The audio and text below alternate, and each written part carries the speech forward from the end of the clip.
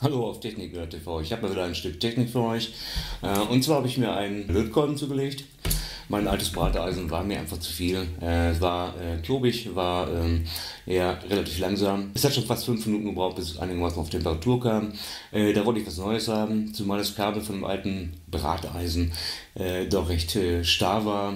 Man konnte also nicht wirklich feinfühlig damit arbeiten. ich habe hier ein Gerät gesehen, ähm, schon ein bisschen länger auf dem Markt und habe mir das einfach mal ja, besorgt vom Banggood. Ähm, und das war ein ziemlich geilen Preis. War ich überrascht, wie billig das heute schon geht, halt äh, gute Technik zu bekommen. Ähm, und war, handelt es sich dabei um einen Mini-Lötkolben, digital. Digital heißt äh, in dem Fall, ihr könnt die Temperatur äh, regeln äh, auf dem Display, könnt ihr euch die einstellen und das hält dann die Temperatur auch bei. Im, äh, den Lötspitzen, äh, die wechselbar sind, sind äh, Messsensoren oder ein Messsensor ist da eingebaut in der Lötspitze. Er kennt die Temperatur und der Lötkolben regelt die dann halt automatisch nach, wenn sie fehlt, sodass die Temperatur immer gleich bleibt. Die Schachtel, als sie äh, kam, dachte ich erst, es wäre ein anderes Produkt in der Schachtel, denn das Gerät ist äh, allein schon von der Schachtel sehr klein. Äh, hat mich doch ein bisschen gewundert. Das ist wirklich überraschend klein gewesen hier. Äh, Im Päckchen dachte ich, wären eigentlich nur Propeller drin für meine Drohnen. Äh, da war dann doch der Lötkolben da, der überraschend schnell da war. Äh, Bangor scheint da wohl ein bisschen was besser zu machen in letzter Zeit. Äh, bei mir ist jetzt auch demnächst halt eine andere Drohne noch unterwegs, die ich auch noch vorstellen werde.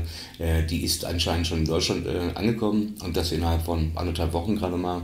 Äh, mal gucken, ob sie morgen zugestellt wird, würde mich freuen. Gut, packen wir das Gerät hier mal aus oder kurz auf die Rückseite noch geblickt hier. Und zwar steht der Mini Solderinged Iron Blue. Das ist eine Sonderedition, die gibt es nur bei Bangor. Äh, kriegt man eigentlich so nicht äh, woanders zu kaufen. Äh, das ist der TS100. Äh, die blaue Version äh, hat den Vorteil, wenn man sie bekommen kann, dass sie halt die neueste Firmware aufgespielt hat, denn hier kann man die Firmware flashen. Es gibt noch eine alternative Firmware, die sehr interessant ist für Leute, die unterwegs damit arbeiten wollen, äh, mit Akkus zum Beispiel.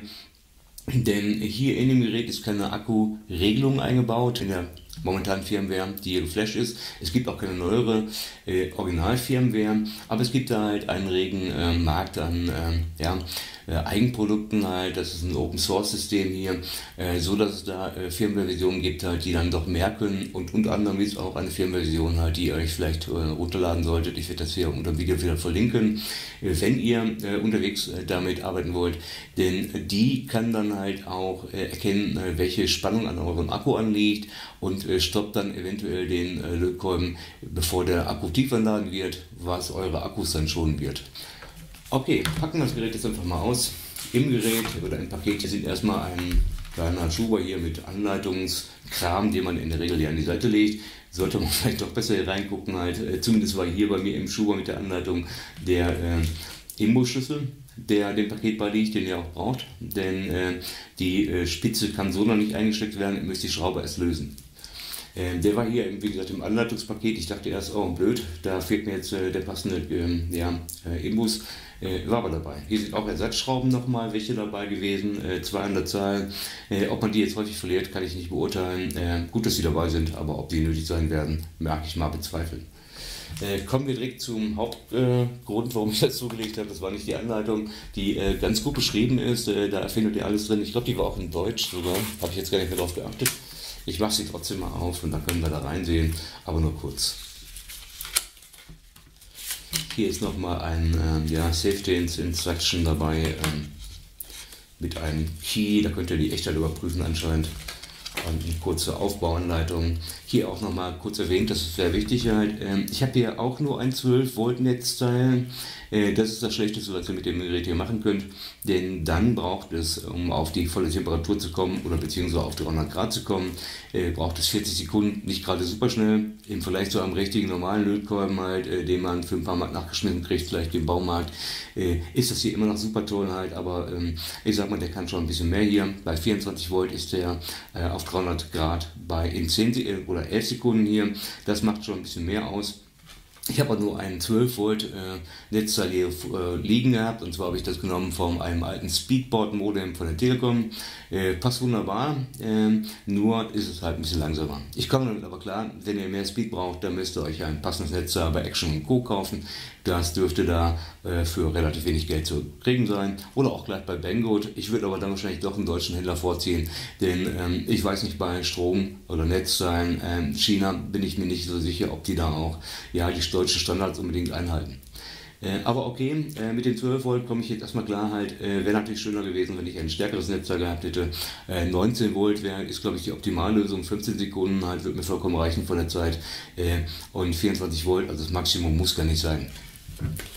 Gut, packen wir das Zettelchen hier weg. Ähm, hier nochmal die Anleitung, wie gesagt. Ähm, die ist in Kyrillisch, nein, die ist auch in Deutsch, meine ich zumindest, habe ich glaube ich gesehen hier. Ich bin mir nicht mehr so ganz sicher. Äh, blättern wir weiter durch. Na, Im Moment sehe ich da doch kein Deutsch. Ähm, aber Russisch, super. Ähm, ich brauche die aber auch gar nicht in Deutsch hier, die Anleitung, denn ähm, da steht so viel auch wieder nicht drin. Äh, Maximaltemperatur sind hier 400 Grad. Mit der alternativen Firmware habt ihr sogar einen Boost-Modus, da könnt ihr kurzzeitig auf 450 Grad mitgehen. Äh, Finde ich nicht interessant, denn ähm, man geht vielleicht erstmal da aus von halt, dass äh, weniger Temperatur besser ist beim Löten.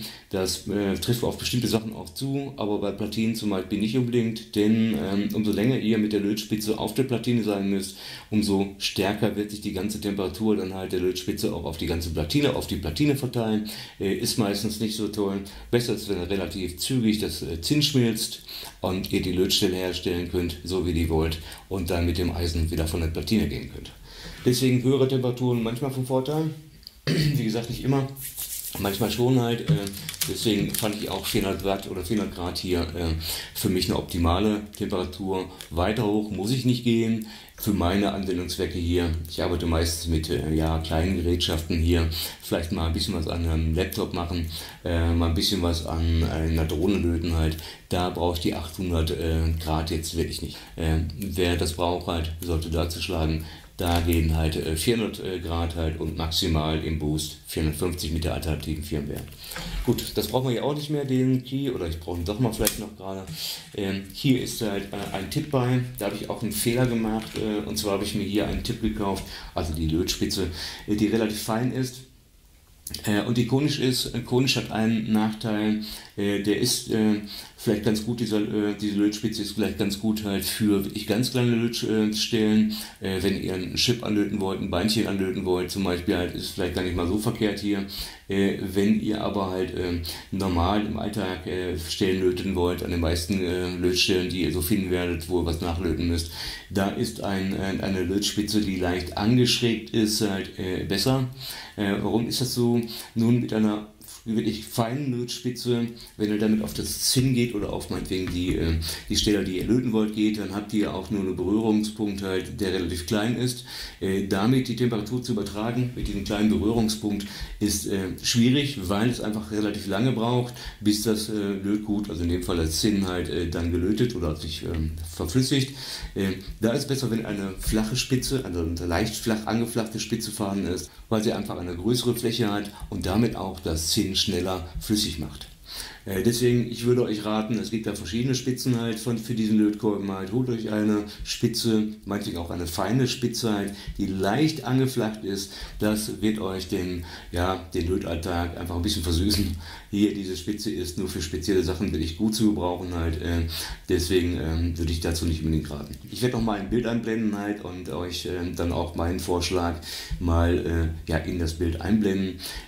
Diese Spitze habe ich mir auch bestellt und die finde ich am interessantesten zum Löten halt. Die ist wirklich für super feine Arbeiten halt gedacht, hier die Spitze. Aber für den Alltag ist sie schon fast nicht mehr so gut. Okay, nehmen wir den Lötkolben hier raus. Äh, winzig klein, wie ich schon sagte halt. Ähm, ich habe die Folie, glaube ich, abgemacht. Ähm, ihr habt hier unten noch die Möglichkeit, das Gerät hier zu erden. Ähm, ob es wirklich nötig ist, äh, für die meisten Sachen wahrscheinlich nicht.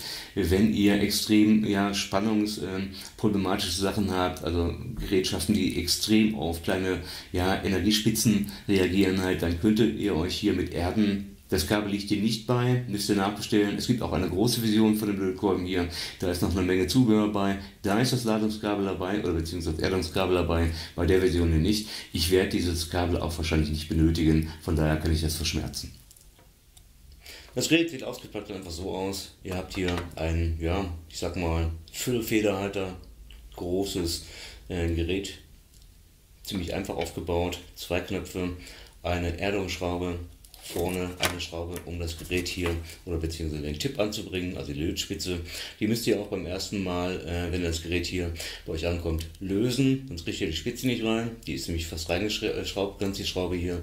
Erstmal lösen mit dem passenden Imbo-Schlüssel, der beiliegend ist, also den kleinen hier. Und dann könnt ihr die Spitze hier reinschieben.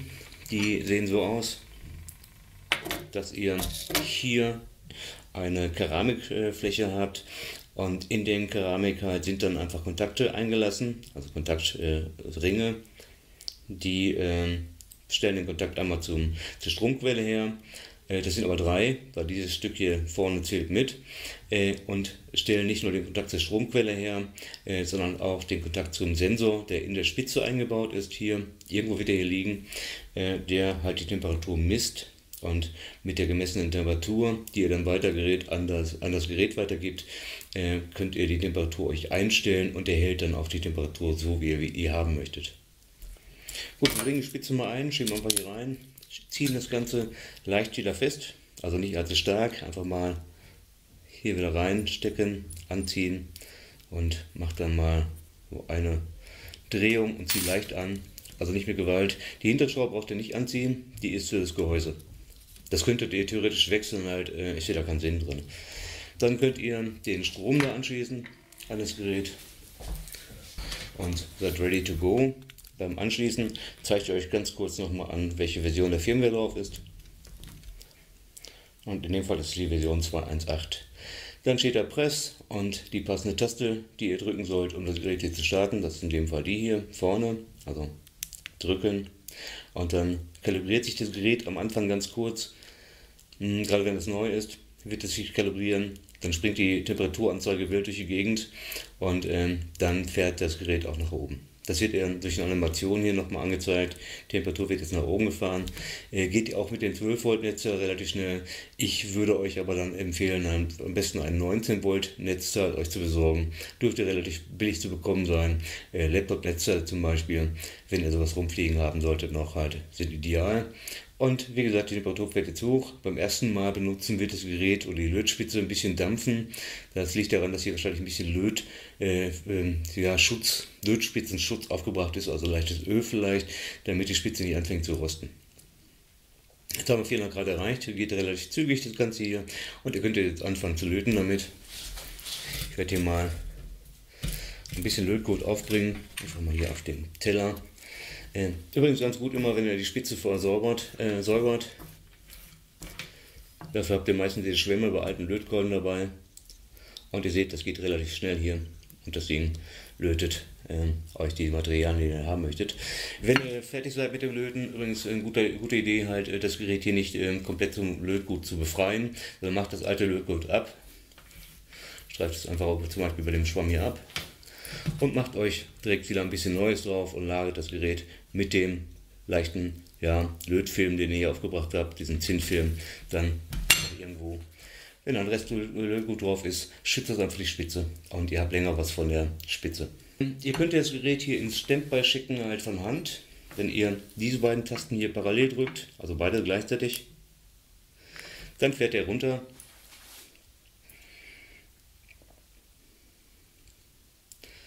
Und das auf eine vorher eingestellte Temperatur. Die könnt ihr euch auswählen in der Textdatei. Ich habe bei mir 100 Grad eingestellt, aber das braucht eine Zeit lang so runterfahren. Ich gehe jetzt einfach mal trotzdem auf Press und zeige euch, dass er runtergefahren ist. Nur die auf 100 Grad wahrscheinlich. Und er geht direkt wieder nach oben, wenn ihr die Taste drückt. Dann steigt die Temperatur an. Äh, das erste Mal, wenn ihr den benutzt, nach längerer Zeit kalibriert sich die Spitze hier. Äh, das heißt, die Temperatur schwankt rauf und runter. Und äh, wenn das gemacht wurde, halt, dann geht die Temperatur relativ schnell nach oben. Ich habe hier mich, mich äh, festgelegt schon mal auf 400 Grad. Das könnt ihr bei der normalen Version machen in einer Textdatei. Die äh, liegt hier auf dem Stick äh, schon vor. Ähm, das heißt, wenn ihr das Gerät hier mit dem PC verbindet halt per USB, dann habt ihr so eine Art von Mini-USB-Stick, auf dem liegt nur eine Datei ähm, und die könnt ihr bearbeiten. Da könnt ihr die Temperaturvorgaben euch einstellen. Äh, ich habe das hier auf 400 Grad gesetzt halt. Hm, denn äh, normalerweise würde er sich das hier nicht merken. Äh, ich meine aber mit der aktuellen Firmware geht er sogar hin und schreibt die Datei oder die Temperatur, die er zuletzt eingestellt hat, in die Textdatei selber rein, sodass ihr euch wahrscheinlich das sogar sparen könnt. Äh, Temperatur ändert ihr, indem ihr die Tasten hier länger drückt. Ich drücke jetzt mal hier auf die Taste und dann kann ich hier auswählen, kann drauf und runter tippen. Wie ihr seht, ich gehe jetzt mal auf 300 runter und warte einfach kurz, bis er bestätigt. Und dann sinkt die Temperatur auch schnell ab. So habe ich die 300 Grad gleich erreicht. Und dann bleibt er auf 300 Grad stehen. Ich gehe jetzt mal wieder ein bisschen nach oben. Also einfach die Taste wieder länger halten, hochtippen. Das macht er zum Glück hier in 10er äh, Schritten und nicht in einer Schritten. Das wird mich extrem annerven, denn so genau brauche ich das Ganze hier nicht. Jetzt habe ich auf 400 Grad gestellt, warte wieder und er wird jetzt gleich die Temperatur wieder nach oben pushen. Das kann was dauern, wie gesagt, ich habe hier ein extrem schwaches Netzteil, äh, 12 Volt halt, äh, relativ wenig Ampere. Äh, das braucht ein bisschen länger. Habt ihr ein stärkeres Netzteil, geht es relativ flott. Jetzt habe ich die 400 Grad wieder erreicht. Ich kann auch mal probieren und Zinn mal an die Spitze bringen. Und ihr seht, das Ganze läuft hier relativ fix. Was interessant ist bei dem Gerät hier, es hat eine äh, Bewegungserkennung. Das heißt, wenn ihr den Lötkolben längere Zeit ablegt, ich weiß nicht, welche Zeit ich hier eingestellt habe, wenn der Lötkolben längere Zeit liegt, dann äh, schaltet sich das Gerät hier automatisch ab oder beziehungsweise fährt auf eine von euch einstellbare Minimaltemperatur runter. Ich habe hier glaube ich 100 Grad eingestellt, äh, ist glaube ich auch das Minimum. Äh, 100 Grad äh, ist relativ sicher, da dürfte also kein Papier euch anbrennen oder irgendwie ein Karton, wenn ihr den verkehrt hingelegt habt, den äh, Glückkolben. Die Wohnung dürfte euch nicht abfackeln, wenn ihr das mal vergisst abzuschalten, das Gerät hier. Also 100 Grad ist, dürfte relativ safe sein. Hm, er fällt also automatisch runter auf diese 100 Grad, wenn das Gerät hier längere Zeit liegt. Und äh, wenn ihr es wieder hochnehmt, dann ist hier ein ähm, Gyro eingebaut, halt, also eine Bewegungserkennung und ähm, dann fährt er die Temperatur automatisch auch wieder nach oben. Äh, schön praktisch zum Arbeiten halt, wenn ihr es weglegt, mal kurzzeitig, weil ihr mit was anderem beschäftigt seid und nehmt das Gerät wieder in die Hand, fährt er automatisch wieder rauf und ihr könnt weitermachen. Mein Tipp ist, wie gesagt, holt euch äh, nicht diese extrem feine Spitze, die ist für die meisten Lötarbeiten einfach Müll. Okay, das war mein kleiner Test hier von äh, TS 100. Für mich eine empfehlenswerte Lötkolben, wenn ihr euch die äh, Version hier holen sollte mit dem passenden Kabel für, Kabel für einen LiPo-Akku, äh, dann achtet darauf, dass ihr euch die andere alternative Firmware äh, runterladet, denn die äh, beschränkt dann halt die Akkuspannung, die daraus gezogen werden kann, so ein bisschen auf den Wert des Akkus. Das heißt, ihr macht euch die Akkus nicht dauernd kaputt, wenn ihr unterwegs löten möchtet, aber da habt ihr eine Lösung, mit der ihr auch unterwegs überhaupt arbeiten könnt. Ähm, das ist auch in dem Video äh, zu der alternativen äh, Firmware gut beschrieben. Das verlinke ich ja, dieses Video und in dem Video, unter dem Video halt, was ich euch verlinke, zu der alternativen Firmware. Da ist dann auch der Link zu dieser alternativen Firmware. Gut, dann sage ich mal, viel Spaß beim ähm, Drohnenfliegen, Löten oder Basteln, was ihr auch immer damit machen wollt. Und sagt mal, ciao.